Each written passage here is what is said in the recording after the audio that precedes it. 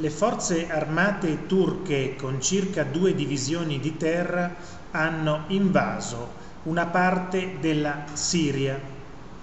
Il comando supremo delle loro forze armate è del presidente della Repubblica Erdogan. Per Costituzione sono sue le decisioni in capo alle operazioni belliche. La Turchia attualmente fa parte della Nato, o viene chiamata anche OTAN l'alleanza atlantica, è un'alleanza militare di Europa più Stati Uniti.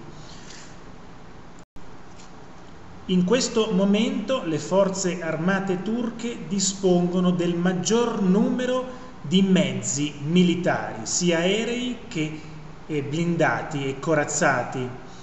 Non, non hanno la supremazia in mare, però attenzione, c'è una differenza tra il numero di mezzi e la forza militare. Attenzione che la, la, le forze armate di Saddam Hussein erano la quarta forza armata per numero mondiale ed è stata annientata in poche ore, quindi attenzione a non valutare un esercito per il numero di mezzi, può avere 10.000 volte i vostri mezzi ma che sono obsoleti e voi con un solo aereo distruggete l'intero esercito. Quindi attenzione a non valutare eh, in questa maniera le forze armate di un paese. Il Ministero degli Esteri italiano, che viene chiamato anche Farnesina, e il suo titolare Luigi Di Maio ha convocato immediatamente l'ambasciatore turco così come molti paesi dell'Unione Europea, perché Di Maio dice eh, ogni tipo di ricatto di Erdogan è inaccettabile sia per l'Italia che per l'Unione Europea.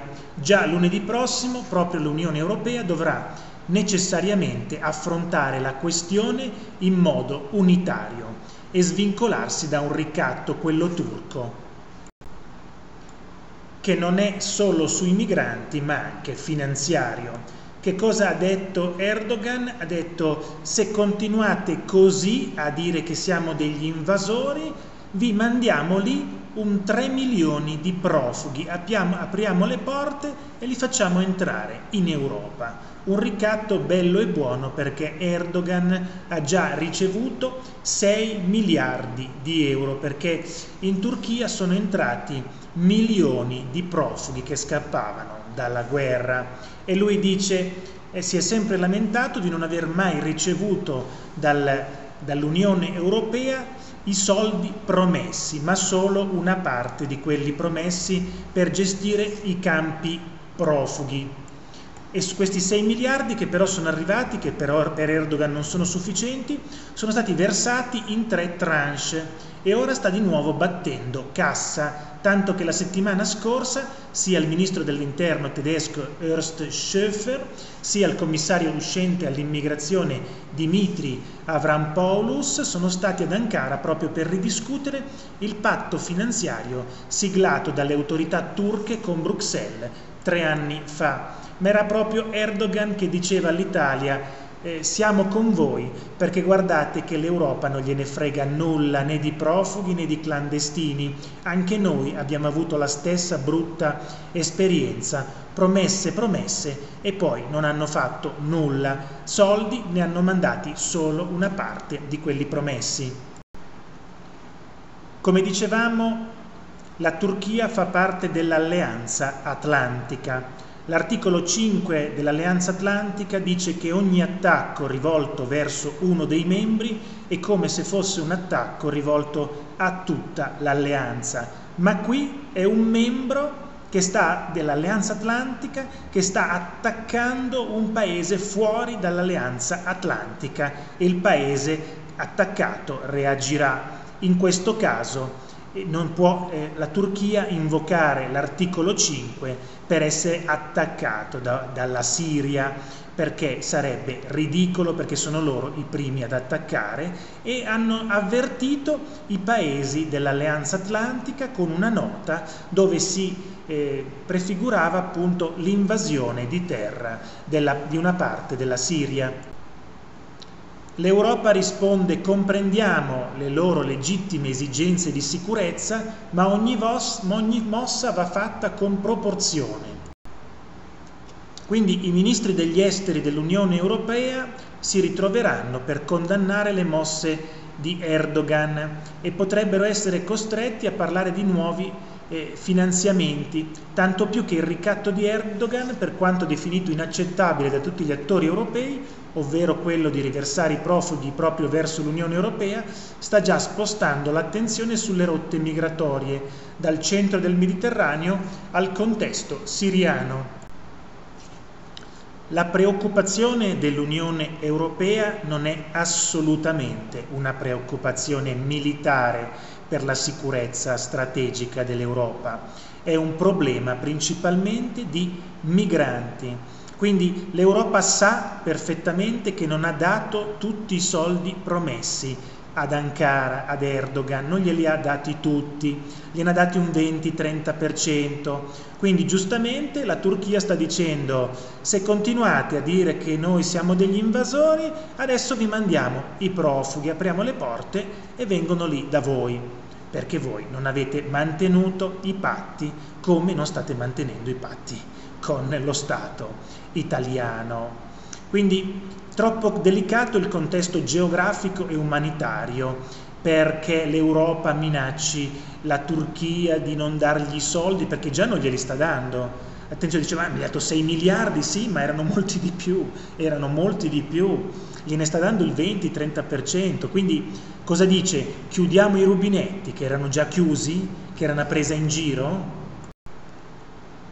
Attualmente in Turchia ci sono 3 milioni e mezzo di profughi. Attenzione, questi sono tutti profughi. Non stiamo parlando di clandestini, di gente che ha cercato ed è entrata in Turchia eh, eh in maniera illegale, come quelli che arrivano da noi, che al 97% sono assolutamente clandestini illegali. In Turchia ci sono 3 milioni e mezzo di profughi, cioè persone che scappano dalla guerra o dalla persecuzione politica e dicono che sono tenuti in condizioni che non hanno alcuna aderenza con i finanziamenti ricevuti da Ankara. I primi 3 miliardi di euro per la Turchia sono stati interamente versati alla fine del 2018 nello stesso anno è arrivato il via libera di altre due tranche di 2 miliardi e di un miliardo di euro. Quando Erdogan minaccia l'Unione Europea di invaderla di profughi, sa di avere il coltello dalla parte del manico e sa anche che la risposta dell'Unione Europea non potrà che essere diplomatica, perché in questo momento è come se Bruxelles sia finita in un cul-de-sac, in cui al massimo può chiedere moder- moderazione nell'offensiva. Sì, eh, l'Europa in, in ambiti di invasioni militari è sempre stata abbastanza debole perché non ha comunque eh, forza contrattuale, diciamo. E poi possiamo, dobbiamo dire che l'Unione Europea non ha delle forze armate c'è un qualcosa di embrionale, c'è eh, la marina, delle marine del, dei vari stati si uniscono per fare delle esercitazioni, c'è qualcosa di congiunto, ma non, non esistono le forze armate europee, da non confondere con la Nato. La Nato è un'alleanza militare di Europa e Stati Uniti. Dunque attenzione che dentro la Nato c'è anche gli Stati Uniti, ma un'alleanza cioè una, una, forze armate europee attualmente non esistono, ci sono delle collaborazioni congiunte, delle esercitazioni congiunte, ma attenzione, non c'è un comando unitario di forze di terra, di mare e dell'aria, questo assolutamente no.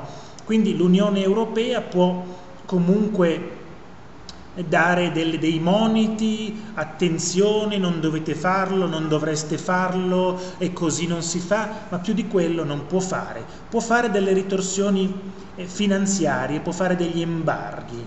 Naturalmente all'Europa si sovrappone la Nato, che non è perfettamente sovrapponibile perché c'è anche gli Stati Uniti, però il vero braccio armato dell'Europa con Stati Uniti è proprio la Nato. La Nato è una pura alleanza militare, di politico non ha nulla, è una sola alleanza di difesa comunitaria, dove tutti rispondono se uno Stato viene attaccato. Viene attaccata la Francia, la Spagna, vuol dire che è un attacco contro tutti i membri della Nato e tutti devono rispondere come se fosse un attacco proprio. In questo caso però la Nato non può minacciare militarmente la Turchia. Vi ringrazio per avermi ascoltato e vi rimando al prossimo video. Arrivederci.